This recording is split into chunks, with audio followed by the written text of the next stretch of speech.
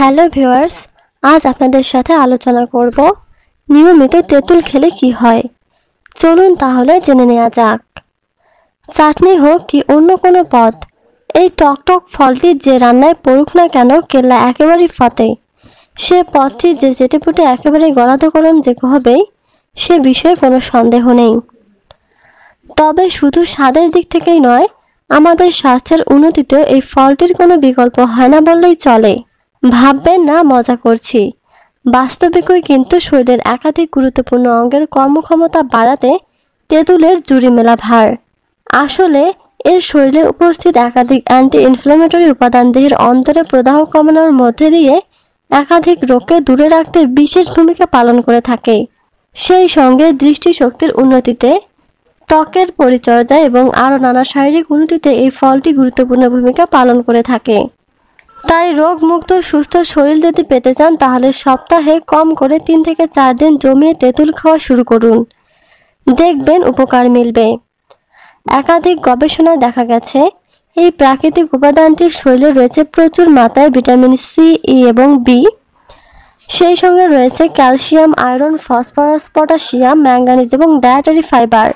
এখানেই শেষ নয়, একাধিক শক্তিশালী অ্যান্টিঅক্সিডেন্টেরও দেখা মেলে এই ফলটির অন্দরে। এবার নিশ্চয় বুঝতে পেরেছেন তেঁতুল আকারে খাটো হলেও কি হবে। গুণের সর্বগুণে সম্পূর্ণ। চলুন তেঁতুলের নানাবিধ উপকারিতার সম্পর্কে জেনে নেওয়া যাক। দেহের অন্তরে প্রদাহ কমায়, বেশ কিছু গবেষণায় দেখা গেছে, শরীরের অন্তরে ইনফ্লামেশন বাড়তে শুরু করলে ধীরে ধীরে প্রতিটি গুরুত্বপূর্ণ অঙ্গের উপরই খারাপ প্রভাব পড়তে শুরু করে। ফলে স্বাভাবিকই নানা রোগ শরীরে এসে বাসা বাঁধে সেই সঙ্গে জয়েন্টের সচলতা কমে যাওয়ার কারণে নড়াচড়া করার ক্ষেত্রেও সমস্যা দেখা যায়।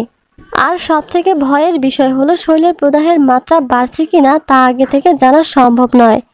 তাই তো নিয়মিত তেঁতুল খাওয়ার পরামর্শ দিয়ে থাকেন চিকিৎসকেরা।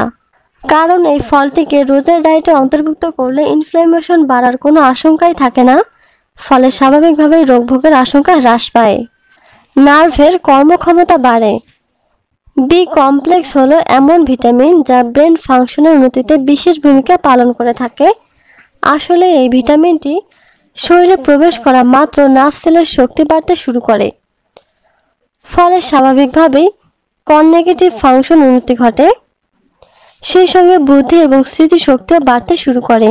প্রসঙ্গত, তেঁতুলে বি কমপ্লেক্স ভিটামিনটি রয়েছে প্রচুর মাত্রায়।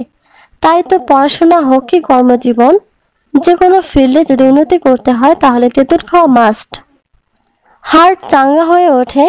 একাধিক গবেষণায় এই কথা প্রমাণিত হয়েছে যে, তেঁতুলের অন্তরে থাকা একাধিক ভিটামিন এবং খনিজ ব্লাড প্রেশার নিয়ন্ত্রণ রাখতে সাহায্য করে।